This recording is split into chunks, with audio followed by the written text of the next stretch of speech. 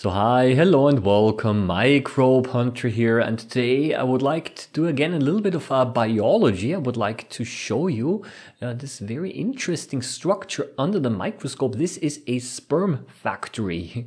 yes, uh, we are looking here at the cross section of the testicles of a mouse and uh, in a mouse testicle, just like in the testicles of all mammals, there are many of those round structures that you see here.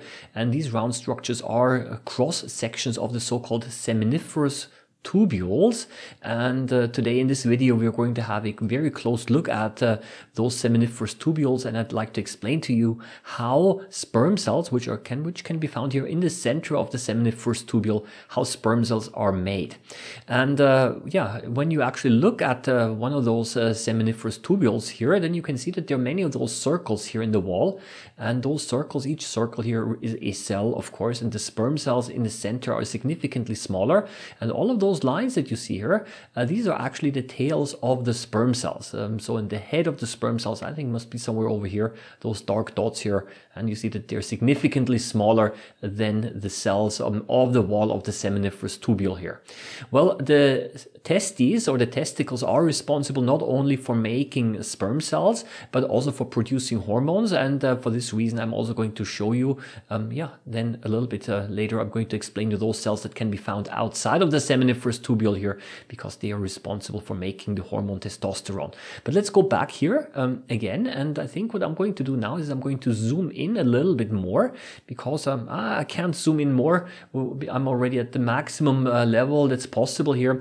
Uh, but but I think that's going to be fine.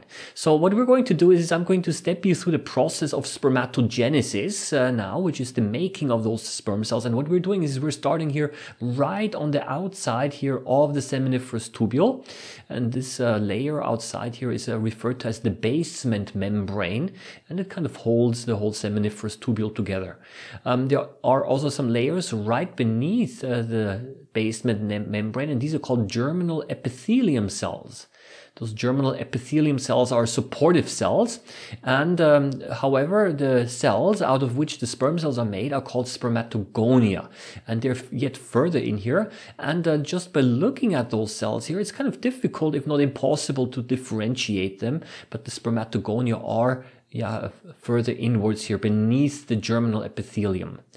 And those uh, spermatogonia will now divide. And as a matter of fact, as we, uh, we make uh, um, the sperm cells here, um, cells will divide uh, in the process of a meiosis. Meiosis is uh, the making of sperm, is required to make sperm and also egg cells because during meiosis we are making uh, four, um, four sperm cells in here and we're also reducing the DNA of the cells and the reduction of the DNA, the half halving of the DNA, the halving of the DNA, basically by cutting it in half.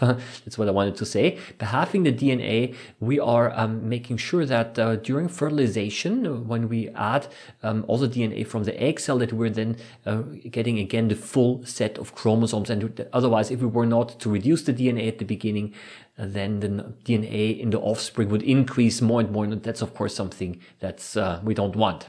So, but let's uh, now go here back uh, to the wall of the seminiferous tubule here, and let's look at some of those spermatogonia here. They will divide once, um, and uh, no, they will not divide once yet. They will first form so-called primary spermatocytes. And those primary spermatocytes, they are the cells that will now divide. Yeah, you see, this is a process of, of cell differentiation that's going on step by step. Um, so the spermatogonia form the so-called primary spermatocytes, and they will divide once to form two cells, which will divide a second time to form a total of four cells. And those four cells are then found in the inside here um, of the seminiferous tubule. Yeah, it's a little bit, yeah, let's go back to this one over here. So there must be then four cells over here, and those four cells are referred to as the spermatids. And those spermatids, um, they basically have half of the DNA, but they do not have a tail yet. So what we need to do now is we somehow need to grow a tail.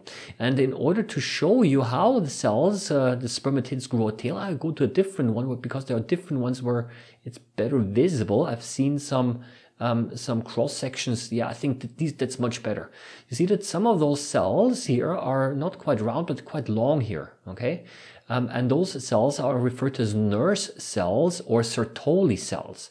And these nurse and Sertoli cells are important for forming uh, the tails of the sperm cells. So um, yeah, here they're yeah, maybe it's also a, little bit difficult to see. Could be those here. And what happens is that the spermatids without a tail, they will um, associate and uh, go to uh, and stick to the Sertoli cells.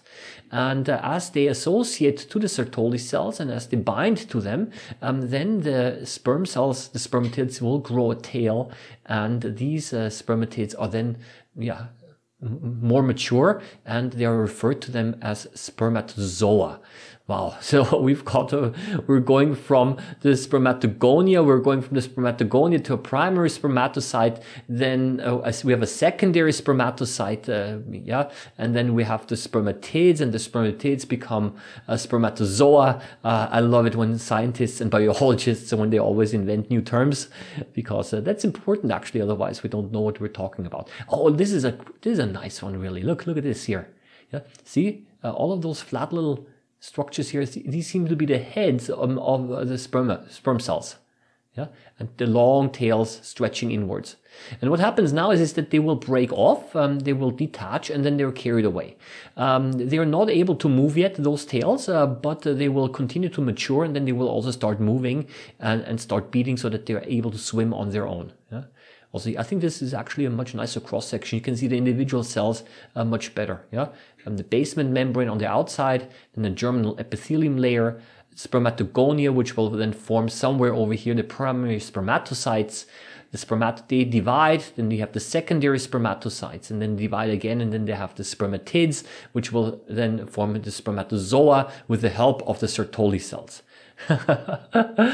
oh wow, it's almost like a tongue twister a little bit, all of those terms, um, and uh, yeah. But I think maybe maybe those words are not so important. Uh, I just uh, wanted to explain to you how the process is. But uh, sometimes it is good if if uh, those processes and if those uh, structures all have a name, because then you actually know what you're talking about. Ah, I also promised you to talk a little bit about those cells that can be found outside of the seminiferous tubules. Those cells over here. I think there could also be some blood vessels hidden in here somewhere. Maybe that's the reason why it's so red.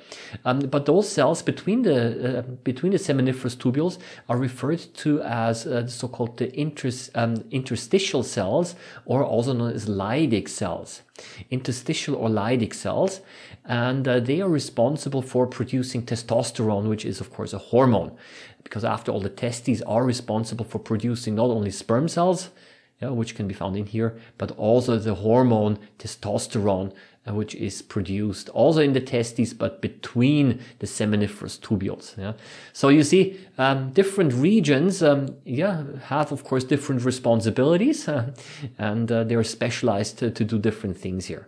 Yeah, and uh, what I'm going to do now again is I'm going to zoom out uh, quite a bit here to give you a better overview, of course, I always have to adjust a little bit the light intensity here, simply to show you how many different seminiferous tubules that there are, quite a few of them. Um, I don't know how, what the total length of those is, but I can imagine them to be quite long. Uh, and uh, simply by looking at this now with all of those seminiferous tubules here, I think it becomes more understandable while, why or how um, a body is able to produce millions and millions and millions of sperm cells every day.